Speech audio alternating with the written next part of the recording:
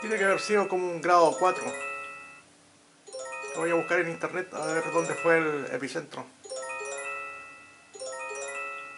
Se sintió bastante movido.